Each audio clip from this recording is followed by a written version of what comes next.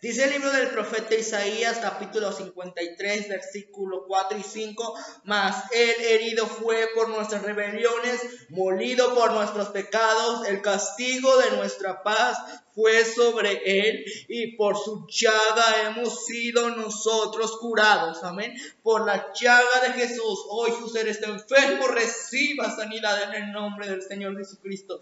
En el nombre de Jesús de Nazaret, toda enfermedad se va, porque hoy Jesucristo la llevó en la cruz del Calvario y aún esa sangre fluye, gloria al nombre de, Él, fluye en el Calvario.